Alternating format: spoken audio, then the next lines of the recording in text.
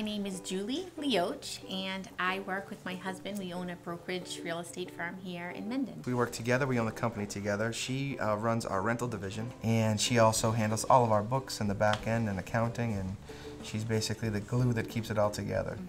I'm mom's hours, so um, that's the wonderful part about what I do at the company. So I'm like 10 to 2, you know, go get the bus and usually get them off the bus and then come back and do all my errands. When they were infants, I tried not to ever bring them into the bank because it would be like a whirlwind and they would destroy the place, but everybody always couldn't help me enough. Whatever they needed just so that I could do my, you know, two minutes of banking or open an account or ask questions. And to me, those little things, you know, they're huge, especially when you're a mom.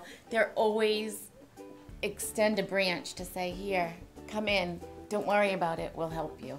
And that being Don't- a mom, Don't cry for crying out that being a mom is like such a big thing and you're trying to do so many things and you're trying to run a company and you're trying to run a business and you have babies and until you're a mom you don't really get it um, i'm so sorry It's supposed to be a happy commercial for crying I out. know. What are you doing? But they are.